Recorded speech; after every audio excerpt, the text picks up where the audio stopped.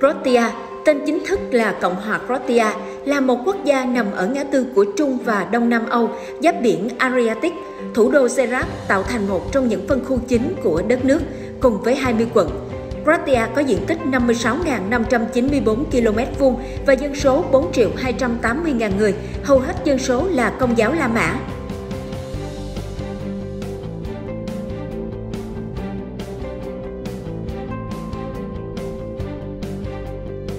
Quốc gia gặt hái nhiều thành công thể thao nhưng nghèo nàn dịch vụ thể thao công cộng.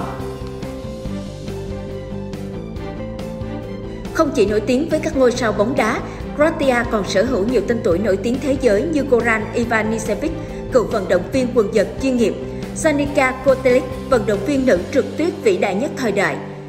Drazen Petrovic, ngôi sao bóng rổ nổi tiếng từng làm rạng danh thể thao Croatia trên đấu trường quốc tế. Nền thể thao ấn tượng này khiến thế giới tưởng tượng về một quốc gia có đầy đủ cơ sở vật chất, các địa điểm hoành tráng phục vụ huấn luyện những vận động viên chuyên nghiệp. Tuy nhiên, thực tế Croatia đã tồn tại một vài sân vận động nho nhỏ trong nước, gần như mọi thành phố tại quốc gia Đông Âu này không hề có hồ bơi công cộng. Hầu hết trường học tại Croatia không có đầy đủ cơ sở vật chất cho các môn thể thao. Trải nghiệm tour du lịch trò chơi vương quyền độc nhất vô nhị Biển Damatian tại thành phố cổ Sada chính là nơi cho ra đời nhiều thước phim kinh điển của series truyền hình đình đám trò chơi vương quyền. Cũng chính tại thành phố có từ thời đại Roman này, du khách quốc tế sẽ có cơ hội trải nghiệm các tour du lịch độc đáo truyền cảm hứng bởi chính bộ phim này. Khách du lịch là fan của trò chơi vương quyền có hai sự lựa chọn, đó là tham gia tour khám phá Dubrovnik, viên ngọc bích của biển Adriatic hoặc thành phố Split lâu đời nhất Croatia bạn nên chuẩn bị sức khỏe tốt để khám phá loạt kho tàng kiến trúc cổ có tuổi thọ gần 2.000 năm, đấu trường La Mã, những nhà thờ lớn có tuổi đời hàng nghìn năm và các thị trấn cổ, ốc đảo quanh biển đẹp như mơ. Nơi phát minh ra chiếc cà vạt. Có nhiều giả thuyết về sự ra đời của chiếc cà vạt, tuy nhiên nhiều người tin rằng phụ kiện thời trang này là phát minh nổi tiếng nhất của Croatia đất nước này có ngày cà vạt 18 tháng 10 để tôn vinh di sản văn hóa này. Vào đầu những năm 1600, tại Croatia, những người lính có thói quen buộc khăn quanh cổ, gây chú ý đối với nhiều quốc gia khác. Khi lính đánh thuê Croatia bắt đầu phục vụ tại Pháp trong cuộc chiến tranh 30 năm, 1618-1648, những chiếc khăn ở cổ đã lọt vào mắt xanh của vua Louis XIV và ông bắt đầu học theo phong cách này. Từ tiếng Anh, cravat được cho là bắt nguồn từ cách phát âm tiếng Pháp của Harvard. Sau khi người Pháp sử dụng cà vạt, trào lưu nhanh chóng lan rộng khắp châu Âu. Về sau, nút thắt Windsor, phương pháp buộc cà vạt phổ biến được phát triển ở Anh. Vinh danh các nhà văn nổi tiếng dù 50% dân số không hề đọc sách. Người Croatia rất tự hào về các nhà văn nổi tiếng ở đất nước của họ nhiều địa danh, quảng trường, đường phố được đặt tên theo các nhà văn Croatia. Thế nhưng, trong những nghiên cứu mới nhất, gần 50% người Croatia không hề đọc một cuốn sách nào trong 5 năm qua. Điều này làm dấy lên nhiều cuộc tranh luận sôi nổi về những đề xuất cải cách giáo dục cho học sinh, sinh viên mà dư luận Croatia đang quan tâm. Sở hữu bãi biển Slazirat biến hình theo chiều gió. Bãi biển Slatnirat còn có tên gọi là Golden Cape nằm ở thành phố Pol, phía nam của đảo Brac tại Croatia. Bãi biển hình lưỡi liềm trắng không bao giờ giữ nguyên hình dạng của nó khi thay đổi màu sắc liên tục theo thủy triều và thời tiết. Gió biển thay đổi thất thường có thể khiến bãi biển này tự động uốn dẻo thành nhiều hình dạng độc đáo. Không quan tâm nhiều đến khoa học và giáo dục, nhưng Croatia vẫn sinh ra nhiều nhà khoa học nổi tiếng nhất trên thế giới. Suốt hành trình dài lịch sử, các nhà khoa học người Croatia đã đóng góp cho nhân loại nhiều phát minh để đời. Mặc dù phần lớn các nhà khoa học này phải học tập và nghiên cứu tại nước ngoài. Nhà bác học điên Nikola Tesla sinh ra tại Croatia cũng đã cống hiến, gắn bó cả đời ông với khoa học. Nhà phát minh đã ở Mỹ suốt thời gian học tập và nghiên cứu của ông. Đến thế kỷ thứ 21, các nhà khoa học Croatia cũng phải xuất ngoại để tích lũy kiến thức và kinh nghiệm kinh doanh để gặt hái được nhiều thành công trong lĩnh vực của họ.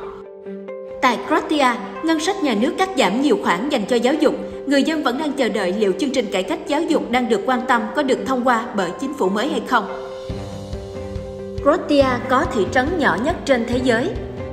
Nằm trên một ngọn đồi cách thành phố Rijeka 40 km và chỉ mất một tiếng để di chuyển từ thành phố Uma, Không được coi là thị trấn nhỏ nhất trên thế giới. Tùy thời điểm, dân số từng được ghi chép là 17, 18, 21 và 23 người.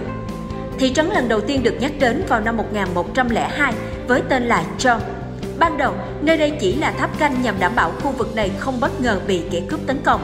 Theo thời gian, một thị trấn nhỏ bắt đầu phát triển xung quanh tòa tháp, chủ yếu là nhà của những người canh gác và gia đình họ. Tòa thị chính và nhà thờ giáo xứ được bảo tồn rất tốt cho đến ngày nay, dù chỉ có một nhà hàng trong thị trấn. Văn hóa ẩm thực độc đáo vẫn gây ấn tượng với nhiều du khách. Croatia hiện là một trong những điểm du lịch nổi tiếng nhất châu Âu. Nhạc cụ khổng lồ ở vùng biển Zada Sri Organ ở Zada, Croatia là một công trình nhạc cụ khổng lồ được tạo nên từ hệ thống ống thổi và còi, được xây dựng trên bờ biển Adriatic khi những con sóng chuyển động vỗ vào bờ, kết hợp với sức gió đẩy không khí đi qua hệ thống ống và còi, năng lượng sẽ được hình thành, tạo nên một bản nhạc du dương. Tác giả của công trình độc đáo này là kiến trúc sư Nicola Pesic. Năm 2006, ông đã nhận giải thưởng châu Âu về không gian công cộng trong đô thị ở Barcelona cho dự án Organ Sadashi, vượt qua 206 ứng cử viên khác để giành chiến thắng.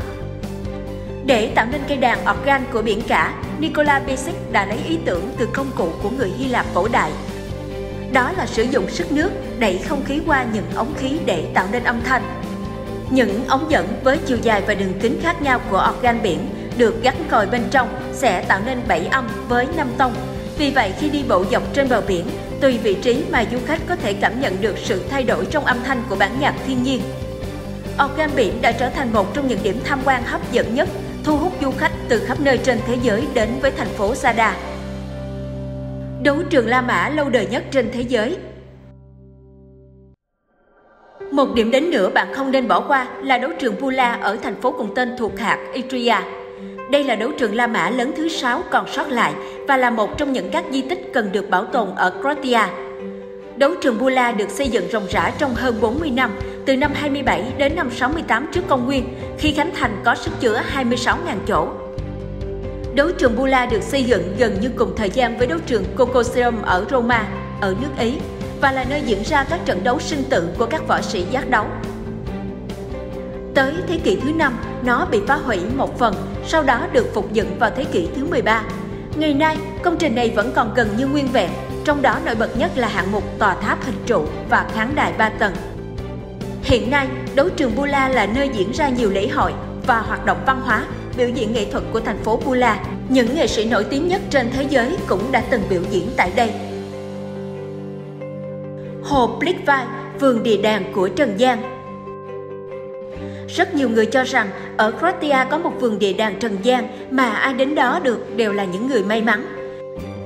Các hồ nước xanh biếc ở đây chảy trên các triền đá vôi và đá phấn qua hàng ngàn năm bị ngăn chặn bởi đá travertine tạo nên các hồ nước, thác nước và hang động rất đẹp. Đây là vườn quốc gia lâu đời nhất ở khu vực Balkan và cũng là vườn quốc gia lớn nhất tại Croatia. Plitvice là địa điểm du lịch phổ biến nhất của Croatia, là một trong những di sản thế giới đầu tiên được UNESCO công nhận vào năm 1979. Plitvice tọa lạc ở nửa đoạn đường từ thủ đô Zagreb đến thành phố biển Zadar. Công viên quốc gia là một quần thể gồm 16 hồ với vẻ đẹp trác tuyệt liên kết với nhau bởi một loạt các thác nước.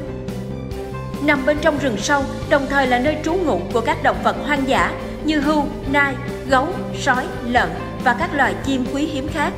Bước vào đây như bước đặt chân đến các vườn địa đàng thực sự. Đây là khi mà vẻ đẹp là sự kết hợp tuyệt vời của thiên nhiên ngoài tầm tay của con người có thể tạo ra được. Các hang động được hình thành bởi đá vôi từ kỷ Trias, kỷ Sura và kỷ phấn trắng và quá trình địa chất này vẫn còn đang diễn ra cho đến tận ngày nay. Tính chất tự nhiên tại khu vực đã tạo ra những tầng sinh thái khác nhau, đa dạng nhưng đẹp say đắm lòng người. Mời bạn ấn nút theo dõi kênh để liên tục cập nhật những video về các vùng đất lạ trên thế giới nhé!